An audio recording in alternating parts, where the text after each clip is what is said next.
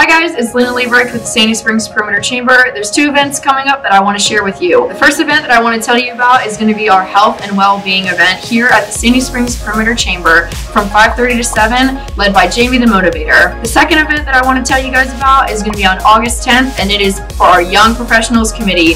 The event is going to be held at the Reserve List in Sandy Springs, and included in the event is an entire charcuterie board, five tastings of different types of wine across the board, and you get to meet other young professionals like yourself. If you have any questions, please feel free to reach out to myself, Adam, Lola, or Andy at the Sandy Springs Perimeter Chamber. My email is lena at sandysprings.org or call me at 678 443 2990.